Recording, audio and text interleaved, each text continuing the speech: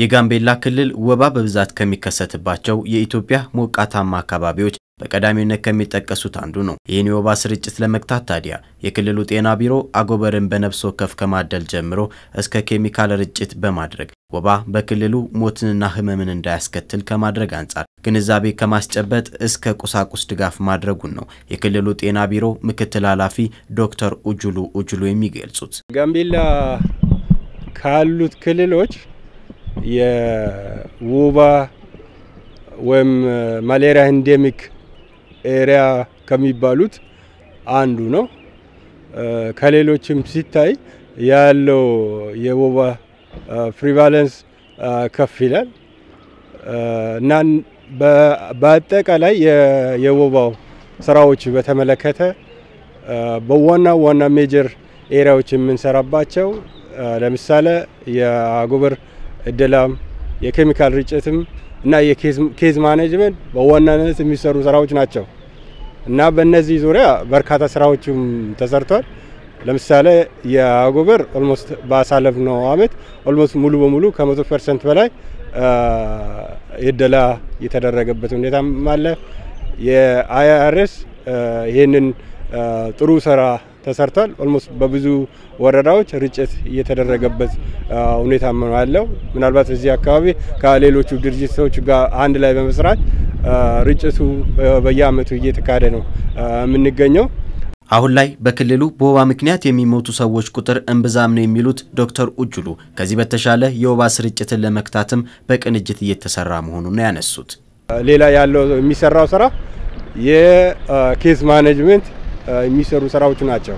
ስለዚህ እነዚህ ተዳምሮ አሁን ያለው የወባ prevalence ከበፊቱ አሁን ያሉት መረጃዎች እንደሚያመለከቱት የ number cases ወይም የሚታዩ የሚታመሙ ሰዎች ኬዞቹም እየቀነሰ እንደሆነ ነው አሁን መረጃዎች የሚያሳዩት።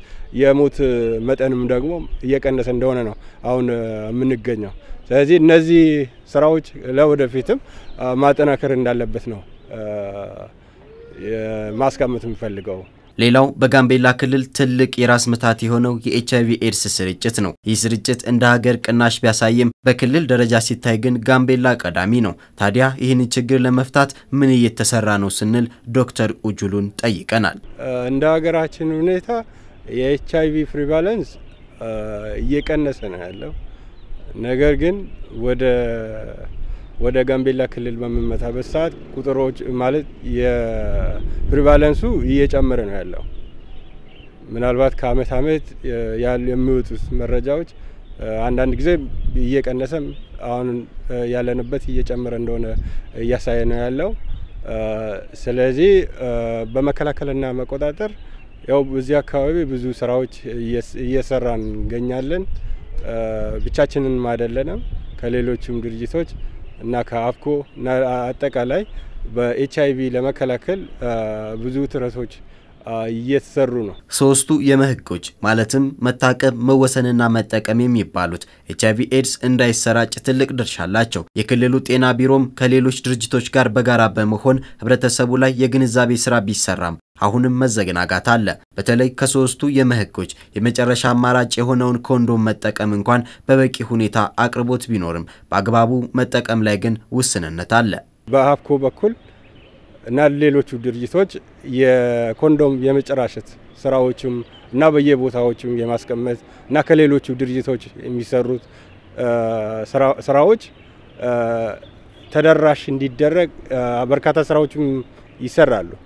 ነገር ግን አንድ ነገር ማስቀመጥ የሚያስፈልገው የኮንዶም የመጠቀም properly መጠቀም ወይም ሁልጊዜም የመጠቀም ሁኔታ ይህንን ነው ወደ ውጤት ሊቀየረው የሚችለው። ስለዚህ ማህበረሰቡ በማንኛው ሰዓት የኮንዶም ማለት safe ያልሆነ ሴክስ ባለማድረግ ኮንዶም በመጠቀም ራሱም ከበሽታው መከላከል እንዳለበት ማወቅ እንዳለበት properly ደግሞ እነዚህ መጠቀም እንዳለበት መገንዘብ አለበት።